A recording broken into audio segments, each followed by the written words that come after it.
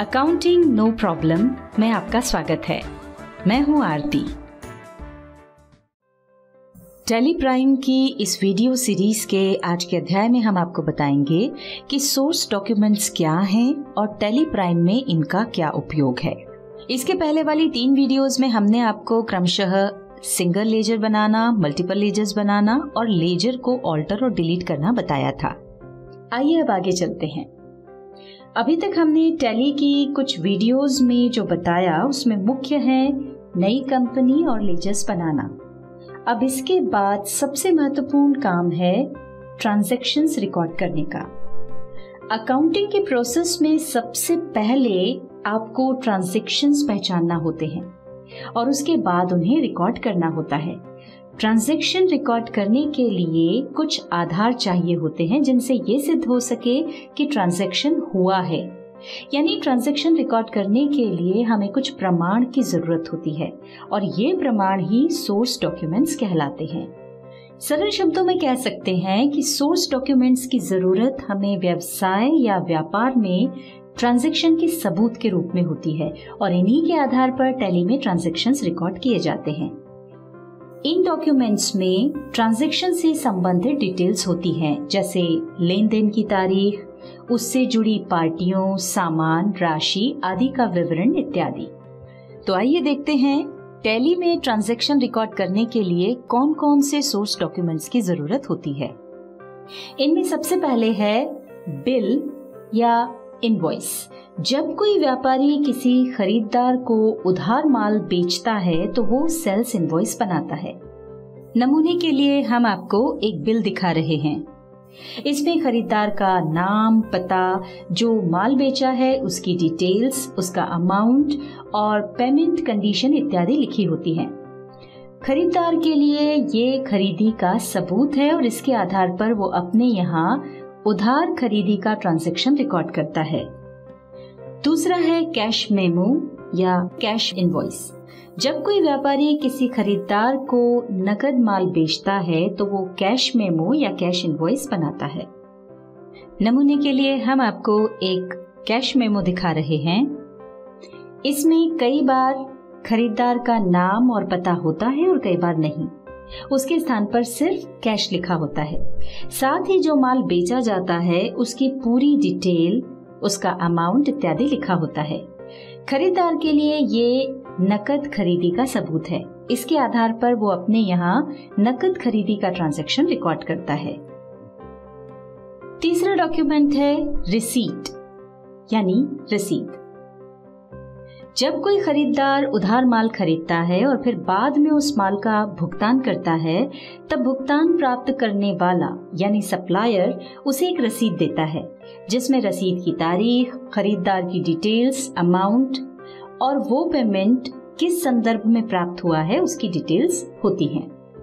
नमूने के लिए हम आपको एक रसीद दिखा रहे हैं खरीदार के लिए ये रसीद भुगतान किया गया है, इसका सबूत है और वो इसके आधार पर अपने यहाँ पेमेंट का ट्रांजेक्शन रिकॉर्ड करता है। अगला डॉक्यूमेंट है चेक जब कोई खरीदार उधार माल खरीदता है और वो उस माल का भुगतान बैंक के चेक द्वारा करता है तो इस चेक की डिटेल्स के आधार पर इस ट्रांजैक्शन को खरीदार और सप्लायर दोनों अपनी पुस्तकों में रिकॉर्ड करते हैं। चेक से जो भी लेन देन होता है, वो बैंक के माध्यम से होता है और बैंक स्टेटमेंट में उस चेक का विवरण देखा जा सकता है। नमूने के लिए हम आपको एक चेक दिखा रहे हैं। अगला है क्रेडिट नोट, यानी सेल्स रिटर्न। जब कोई खरीदार खरीदा हुआ माल सप्लायर को पूरा या आंशिक रूप से यानी कि कुछ मात्रा में वापस करता है तो सप्लायर उस ट्रांजैक्शन को रिकॉर्ड करने के लिए अपने यहाँ क्रेडिट नोट बनाता है। और यही क्रेडिट नोट माल वापस प्राप्त हुआ, इसके सबूत के रूप में खरीदार को देता है। इसी तरह कई बार खरीदार माल से संबंधित कोई शिकायत करता है और यदि सप्लायर उन शिकायतों से सहमत होता है तो खरीदार को कुछ छूट प्रदान करता है। और इस प्रकार की छूट के लिए भी सप्लायर क्रेडिट नोट बनाकर खरीदार को देता है। क्रेडिट नोट में खरीदार की डिटेल्स के साथ ही माल की डिटेल्स या छूट का कारण और अमाउंट लिखा जाता है। इसके बाद है डेबिट नोट यानी परचेज रिटर्न जब कोई खरीदार खरीदा हुआ माल सप्लायर को पूरा या आंशिक रूप से वापस करता है तो खरीदार इस वापसी के ट्रांजैक्शन को अपने यहाँ रिकॉर्ड करने के लिए डेबिट नोट बनाता है। साथ ही वो जो माल वापस कर रहा है, उसके साथ ये डेबिट नोट सप्लायर को भी भेजता है। कई बार खरीदार जब सप्लायर को माल खराब होने की शिकायत करता है और सप्लायर उस नुकसान की भरपाई के लिए कोई अमाउंट निश्चित करता है तो उसके लिए भी खरीदार अपने यहाँ डेबिट नोट बनाता है और सप्लायर को भी भेजता है। डेबिट नोट में सप्लायर की डिटेल्स के साथ माल की डिटेल्स या छूट का कारण और अमाउंट भी लिखा होता है। वास्तव में डेबिट नोट और क्रेडिट नोट एक दूसरे के पूरक हैं। खरीदार के लिए जो डेबिट नोट है, वो सप्लायर के लिए क्रेडिट नोट है और इसी तरह यदि किसी कारण से सप्लायर डेबिट नोट इशू करता है तो वो खरीदार के लिए क्रेडिट नोट होता है। जीएसटी लॉ आने के बाद अब डेबिट नोट और क्रेडिट नोट में वो सभी डिटेल्स देना ज़रूरी है, जो आप इनवॉइस में देते हैं।